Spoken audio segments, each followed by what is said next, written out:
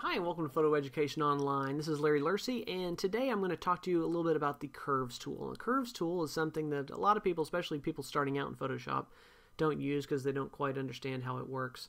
Um, a lot of times you'll just use levels because uh, it's a little kind of a little more simplified version uh, of working with kind of the same information. But Curves is very powerful and uh, something you should at least familiarize yourself with. And so I'm going to kind of give you just a quick overview of what it is and what it does and uh, hopefully that'll be enough to get you uh, experimenting with it a little bit. So let's just jump right in here. I've got an image pulled up, and uh, we're just going to go here in the layers palette down here to this little circle and hit curves. It's going to bring up our curves window right here.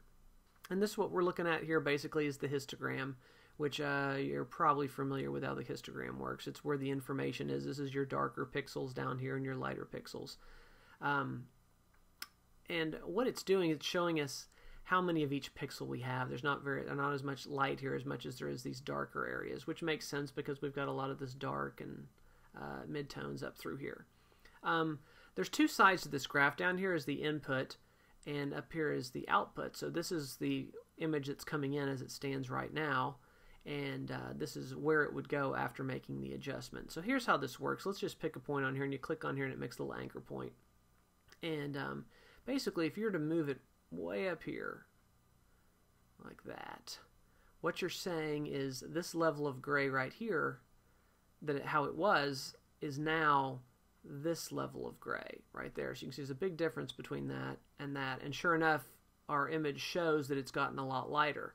Uh, on the other hand, if you say, um, I want this level of light to be this dark, you can pull it way down, it's going to get really funky looking.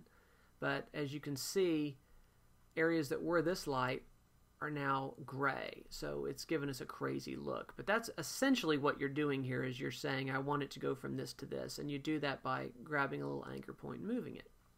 So, and while we're doing this, let me kind of show you really quickly down here uh, what these two buttons that I use the most are. This one goes back to what you had. So if you do something and you do a bunch of things to it and you go, boy, that looks terrible, uh, you just hit this little back arrow and it takes you back to the original image.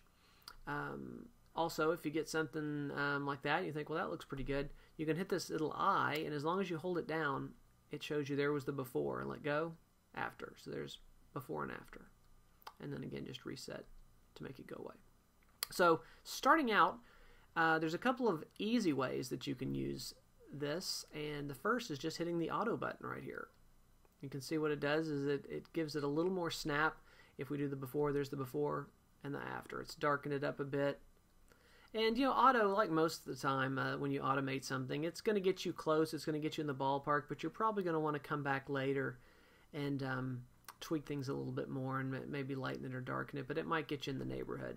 Second thing you can do is just go up here to these presets and, you know, say they're pretty, most of them are pretty descriptive. Lighter is just going to lighten it up. You click on that, lightens the whole image. There's the before, after.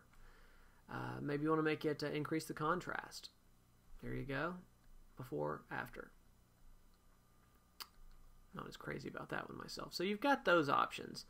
Um, another really cool option is right up here. It's this little hand with the arrows. And if you click on that, then when you move out here, you're going to choose an area. So you say like, I want to work on this, uh, the, the really dark tones of the shoes.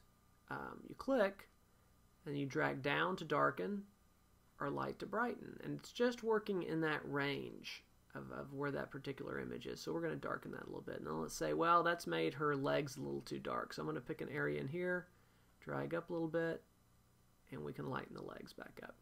Same thing, you can go through, say, I think this floor is a little too bright. Um, now, anything in that range, including her hair, is going to be darkened, but I can grab here, darken it down a little bit, just a touch. And it, it darkens those lighter areas. Here's the before, after. So it just kind of tightens up the image a little bit. So that's kind of the easier way if you want to try and pick some spots and really adjust them is use this little hand tool, grab an area, lighten or darken. And, and you'll kind of get, you see it's making these anchor points as you go. And um, these are what you will adjust if you say, well, I think I want to bring this darker area even a little more darker. You're going to grab it and just drag down. If you want to make the lighter area a little bit lighter, I'm going to grab light up like that. So you're going to kind of move back around through this range and, until you get it how you like it. And um, the nice thing about using these on a layer like this is once we're done, let's say we've got it how we want it, close that up. You can see here on our layers palette that here's the original image underneath and we've set up curves on its own layer. Um, the nice thing about that, of course, you can turn it off, but you can also adjust the opacity. You say, oh, I went a little bit too far, let me bring that back a little bit. You know, bring it down to 70% before, after. So you've got total control, and you know, you go back in later, you can uh, double click back in here. Whoops, on the wrong side. Double click right there, and it'll bring you right in, and, and you can go back and tweak it some more, and uh, and just like that. So your options are still open. It's not like you're doing one thing to it and you're stuck with it. You can always go back and and play with those layers and get them to look exactly how you want. So that's a quick look at how curves goes. Um, it really is uh, a powerful tool if you can get past the learning curve and get comfortable using it. And like I said, maybe go in, just try the auto for a while, and, and then just tweak some of those little points around a little bit until it's exactly how you like it. And uh, I think you'll find it's really helpful. So give that a shot and be sure to check back for more tutorials in the future. And I will see you soon. Bye bye.